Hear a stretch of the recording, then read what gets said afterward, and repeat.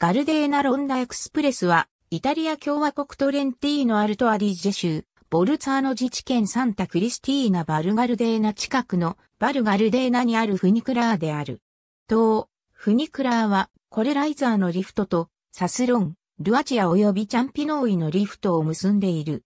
1990年に建設計画が開始され、建物を避けるために軌道が若干変更された後、2003年に建設が開始された。2004年に東路線が開業したことにより、鉄道がなくなってから約40年後に、再び渓谷に列車が戻ってきている。当システムでは、二つのフニクラーが運行されている。両方ともガングロフ社によって建造されており、ケーブルシステムはライトナーロープウェイズ及びポマイタリアによって製造されている。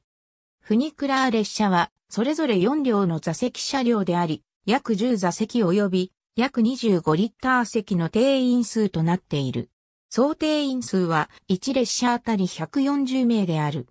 列車は長さ15.5メートル及び幅2.3メートルであり、重量15,500キログラムとなっている。